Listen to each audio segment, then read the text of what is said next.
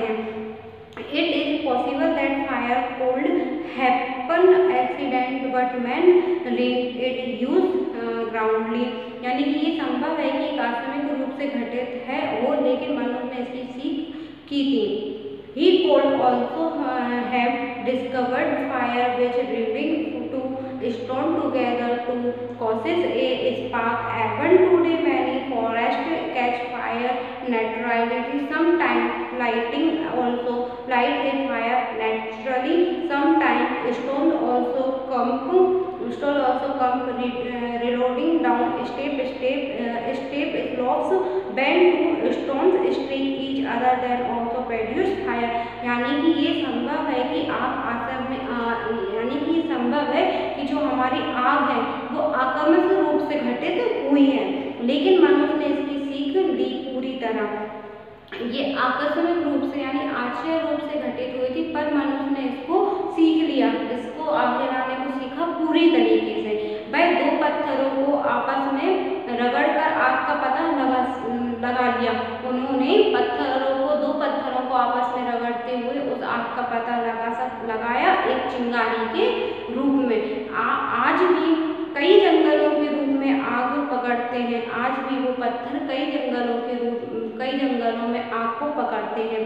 कभी कभी तो एक स्वाभाविक रूप से आग रोशनी रोशनी को पकड़ती है। कभी कभी तो जो आग होती है वो स्वाभाविक रूप से अग्नि को पकड़ती है। कभी कभी पत्थरों को नीचे खिसक कर आते हैं। जो पत्थर होते हैं वो कभी कभी आकर्षक रूप से नीचे खसक कर आ जाते हैं। जब दो पत्थर आपस में टकराते हैं तो वो आग को पैदा करते हैं।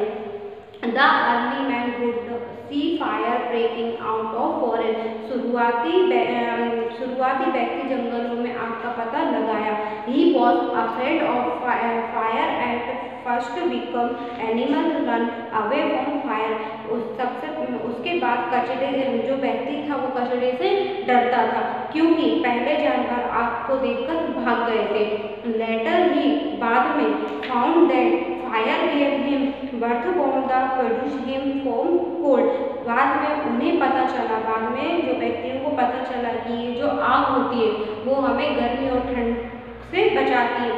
पहले तो जब आग का निर्माण हुआ था, आग विकसित की गई थी तो कुछ जानवर और जो व्यक्ति थे, वो एक चिंगारी को देख के, एक रोशनी को देख के भाग गए थे कि ये क्या चीज़ है। बाद में धीरे धीरे उनको महसूस हुआ कि ये हमारे शरीर को गर्मी और ठंड गर्मी और ठंड जो होती है उससे बचाती है।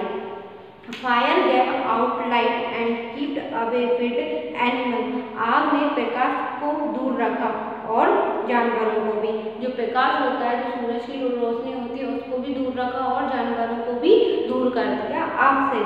When a fire broke out animal and bright बार born in it इस आग के कारण कई जानवर जानवर जो थे, उनमें जानवर और पशु पक्षी जो थे, वो आग में जल गए थे the early man found thought roasting makes meat soft and tasty उसके बाद में जल्दी आदमी ने क्या करा कि उस आग में जो जा पशु पक्षी जो जल गए थे तो उनका जो मीट था, वो उठाया और उसको खाया। तो वो क्या हुआ था? वो बहुत ही ज़्यादा जलने के बाद में बहुत ही ज़्यादा नरम और सॉफ्ट टेस्टी हो गया था।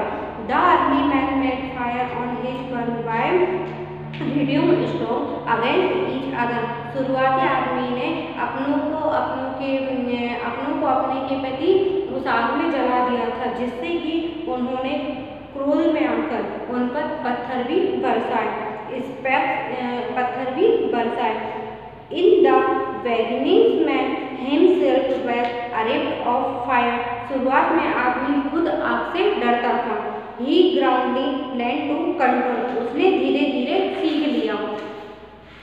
फायर धीरे धीरे उसने फिर आग को लगाना सीख लिया।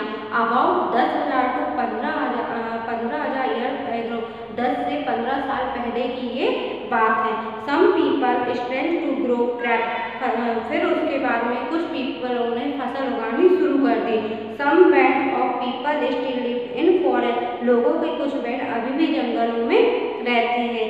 They want gas and process our waste areas in the meadow in summer और गर्मियों में, उन व्यक्तियों ने, गर्मियों के टाइम पे, गर्मियों में घास और जो मैदान होते थे और घास और जो झाड़ियाँ होती थी, सबसे पहले तो उन व्यक्तियों ने उसको जलाया। They use the land of grow उसके बाद में उन्होंने फ़सल उगाने के लिए भूमि को तैयार किया।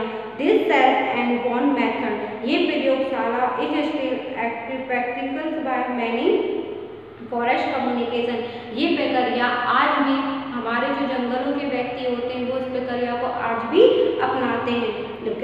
Generally village where development are band life change completely धीरे धीरे गाँव का विकास हुआ और मनुष्य का जीवन बदल गया पूरी तरीके से। ओके स्टूडेंट ये